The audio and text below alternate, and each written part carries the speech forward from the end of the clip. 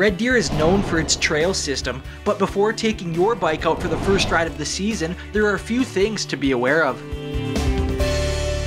There's a couple different types of brakes. There's like uh, rim brakes and then there's kind of disc brakes, I guess. So this bike here has the disc brakes on it and it's actually got uh, hydraulic oil like a, like a motorbike would. So you just want to make sure there's no kind of oil or any residue on those brake pads or even on the rotors itself just because it would uh, contaminate the brakes and then just not work as well. So same with the rim brakes, just free of dirt and debris, that kind of thing. So just a physical look can, can easily tell for sure if there's anything on them. On the hydraulic brakes, it's probably a little bit more finicky just because of the, the, it's actually a sealed system, so you need to have a bleed kit, it's called. The regular other brake styles is pretty, is pretty easy to do. It's just more about alignment in the wheel, just making sure the wheel is kind of centered, and then the same thing, just making sure the brake pads are centered and, and tightening it up.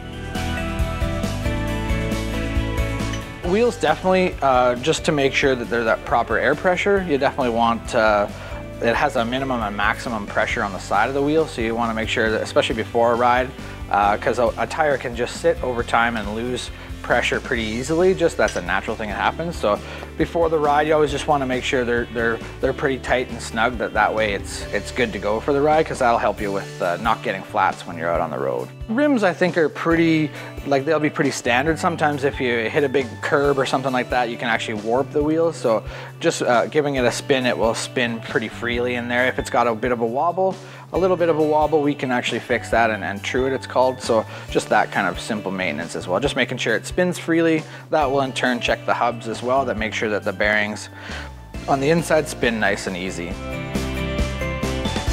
Drivetrain's a little bit different just because there's so many different kinds uh, of drivetrains, but you, you definitely still want to have it clean and, and the proper key, I guess, would be the chain, chain lube or chain oil, which is in the back corner there. You definitely want to have just the right amount of uh, chain lube, not too much, because if there's too much chain lube, it'll actually attract more dirt.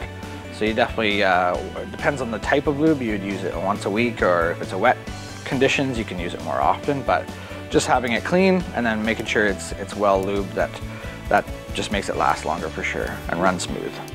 For Go Central, I'm Kyle Polanski.